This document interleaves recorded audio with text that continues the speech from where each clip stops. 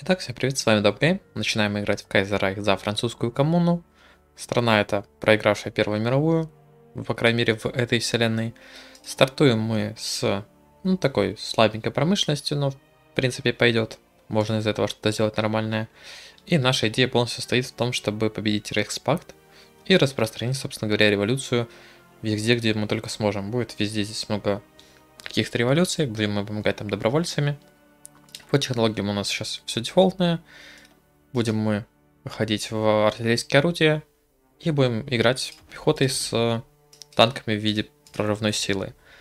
А флотом я заниматься не планирую особо, достроить то, что здесь есть, и, наверное, буду делать подлодки, потому что э, сейчас он у меня маленький, и достроить его к какому-то боевому состоянию не получится. А к тому, чтобы просто морские пути с помощью подлодок прерывать, вполне себе. По фокусам. А, здесь у нас есть несколько выборов эксклюзивных. Пойдем мы здесь в кооператизм, чтобы взять себе минус ТНП. Потом мы себе здесь возьмем плюс ячейку исследований, плюс скорость исследований. И здесь мы пойдем в офицерскую инициативу, чтобы получить плюс бафы к пехоте. Собственно говоря, все достаточно просто. Ну и к началу войны мы вот до сюда дойдем тоже. Там неплохие бафы на развитие есть. В любом случае, поехали. Вот и ивент о том, что такое французская коммуна. Проиграли войне, потом произошла революция. И в итоге у нас теперь здесь правят синдикалисты. Ну и сейчас будут выборы, мы можем попробовать смениться на что-то другое. Но я оставлю синдикалистов, потому что это да, сохранит нам максимум стабильности, и плюс какие-то советники от синдикалистов очень даже полезны. Вот и пошли ивентики на выборы. Говоря, мы берем здесь офицерскую инициативу. Э, это дает немножко популярности э, этим фаталистам, но это не страшно. Все равно мы сможем добиться большинства синдикалистов. Итак, прошли мы через большинство ивентов, и синдикалисты сохранили свое большинство, как я в принципе и хотел. Но мы взяли вот нужное нам э, решение вот здесь, то есть у нас будут офицерские инициативы, у нас будут кооперативы. Ну и сейчас мы пойдем по промышленности. Плюс э, советников все понанимаем. Начнем мы с вот этого парня, который сделает скидку на всех остальных советников. Потом возьмем себе парня на экономику. И потом скорость строительства фабрики стабильность, чтобы начать прям застраиваться. Но перед этим э, мобилизируем нашу экономику, конечно же, со скидкой от второго советника. Тут у нас выбор, кого сделать с новым правителем, но я даже не знаю. Давайте возьмем Франшона, потому что он ветеран гражданской войны. Но все равно от него нет. Не знаю, влияет ли это вообще на что-то. Ну, допустим. Кстати говоря, как вы можете заметить, начался уже черный понедельник, и вместе с этим начались э, битвы в Китае, а значит, что нам пора отправлять добровольцев. А в Кубе наша революция провалилась, как вы можете видеть. Произошел марш на Гавана, а не социалистическая революция, и на Кубе у нас поддержки не будет. Ну, там не повезло, надеюсь, нам повезет в Китае и в Южной Америке, кстати говоря.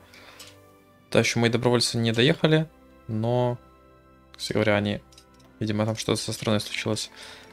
Но, видимо, там наши парни победят. Так, тут сразу два события. Третий интернационал, наконец-таки. Отлично. И Германия извратила деятельность фаут. Мы в теории можем уже напасть. Да, но я чувствую, что мы пока что не готовы. Мы вряд ли сможем победить, так что пока продолжаем застраивать экономику и развиваться. И стартует наш интернационал. Кроме того, мы выбираем город, выберем, конечно же, у нас. И за это мы получим инфраструктуру. Я думаю, очень даже приятно. И тут происходят разные события, тут стабильности немножко получили с ивентов. Рассказывают, что где происходит. Там он в США тоже парни. Латинская Америка будет тоже у нас целью. А, женщин. Ну, я бы не хотел, честно говоря, терять стабильность, да. Так что стабильность поставим. Это уже поинтереснее. Кому просит поддержки, и мы ее дадим. Вопрос, это даст им что-то? Наверное, да. Я же не просто так потерял просто 50, верно? Политической власти. А, ну и Германии тоже бунтовщикам мы, конечно же, поможем. Пускай они там страдают немножко. Немцы, конечно. Тут ивентик, я так понимаю, о поддержке Индокитая. Ну, так как мы должны помогать им, мы обязательно поможем. Революция случится везде, где рабочие этого захотят. Вот и рабочие восстали в Индокитае. Нужно им тоже отправить поддержку. Скорее всего, это будут... Да, это будут горнострелки. Отсюда Бельгия отвалилась от Германии. Это приятная новость. Но, как я понимаю, они все еще будут с ними. Непонятно. Вроде они не в как раз таки Металле Европе. Так что, может, они просто будут там независимо сидеть. Это, конечно, было бы поприятней. Потому что нам еще можно будет Швейцарию, скорее всего, забрать. И, может быть, и Бельгию мы сможем. И где-то там еще я помню, что... Да, можно Испанию попробовать подзахватить. Но я не уверен, а, можно ли до войны с Германией, кроме этого фокуса. Плюс мы попробуем, конечно же, сначала там добровольцами помочь провести мирную революцию. Кстати говоря, здесь мы добровольцами уже победили, плюс-минус, да, и подкачали нашего генерала. Прекрасно. Одна революция удалась. В Индокитае, кстати говоря, дела идут, я бы сказал, достаточно успешно, плюс-минус, конечно. Да, у нас всего лишь одна дивизия, поэтому немножко не хватает. Но в целом нормально. А вот и гражданская война в Испании началась. Сможем ли мы туда... Да, мы туда сможем еще и авиацию послать. Ну и, конечно же, нашего генерала с танками. И послали мы им еще поддержку. Это, кстати говоря, достаточно хорошие бонусы. Я думаю, они неплохо зарешают. Ну и начинаем мы в Испании здесь пробиваться. Думаю, сначала мы королевство Испании капитулируем, потому что здесь поприятнее ландшафты. А потом уже попробуем через эти горы пробиваться. Танками, конечно, будет не так приятно, но нам надо его накачать. И мы засылаем добровольцев в Грецию, в Румынию и Сербию. В скобочках Румыния отказалась. Ну ладно. Но хотя бы здесь по одному добровольцу будет полезно, что Болгария, в принципе, вступает обычно на сторону Австрии, а вот как раз-таки вот этот альянс, сербско, румынско, греческий, нападает обычно на Австрию, а это нам на руку. Кстати говоря, мы тут немецкие танки окружили, и сейчас уничтожим. Достаточно приятные новости. Потому что потом они эти танки еще куда-то не, не зашлют. Там в Швейцарии происходит интересное событие, попробуем на нее повлиять. А если не получится, то захватим, у нас есть на это фокус. Победа индокитайского восстания? Индокитай победил? Все, прекрасно. На самом деле очень быстро у нас получилось, и мы лишили Германию важных э, ресурсов, очень важных. А себе приобрели наоборот их. И вместе с этим началась война гражданская в США, значит, вот это тоже сейчас а, будем кого-нибудь отправлять. Я подозреваю, что танки, потому что, ну, мы хотим, чтобы они именно победили, а не просто подформить опыта. Так что, поехали. Вот и второй конгресс поехал в Лондоне. Неплохо мы стабильность уже подобрали.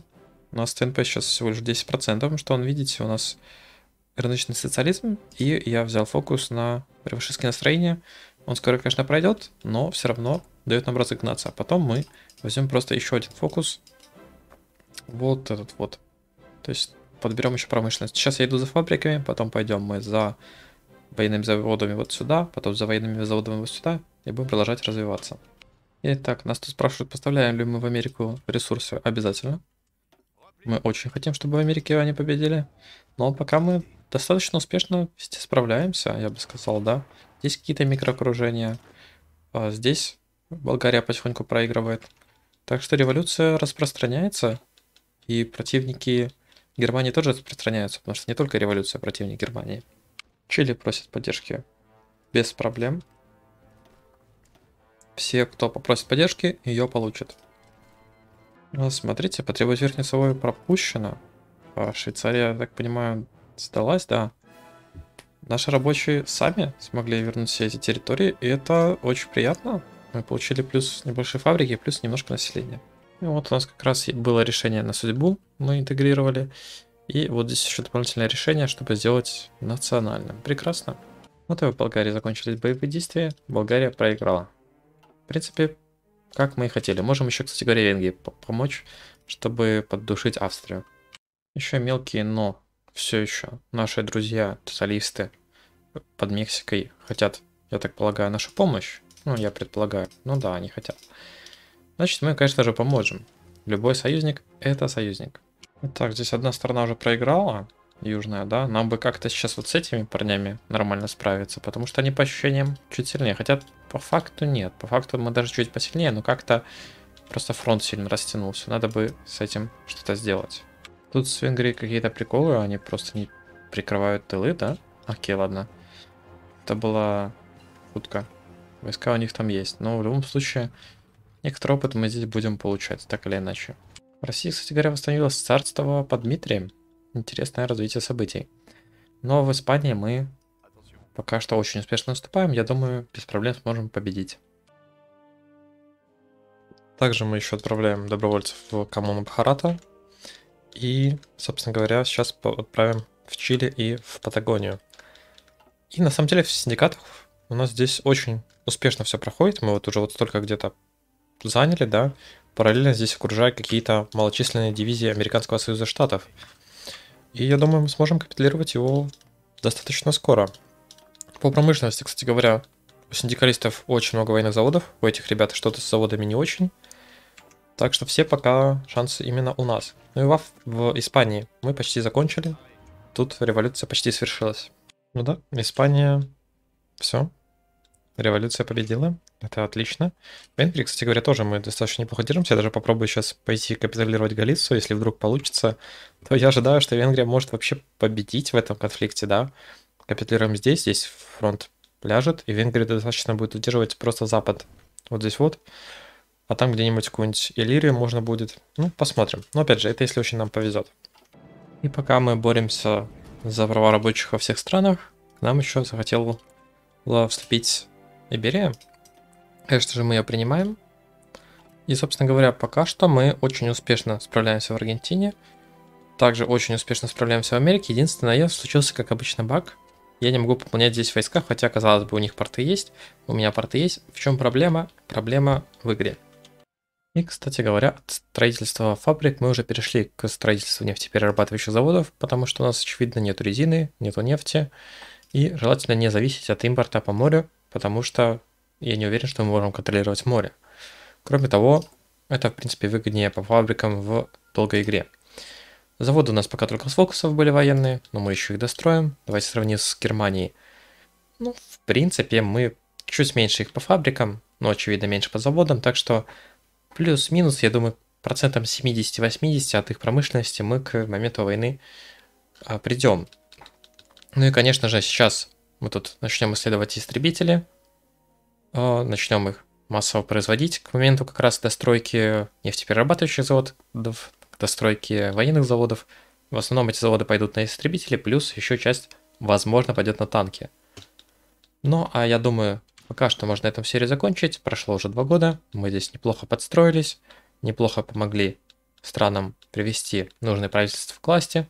В Индокитае все успешно, в Китае все успешно, в Испании, в Южной Америке и в самой Америке Северной тоже наше правительство успешно справляется со своими задачами. Так что, ребят, с вами был Добгай. Подписывайтесь на канал, ставьте лайки, комментарии. Все как обычно. До скорых встреч. Пока.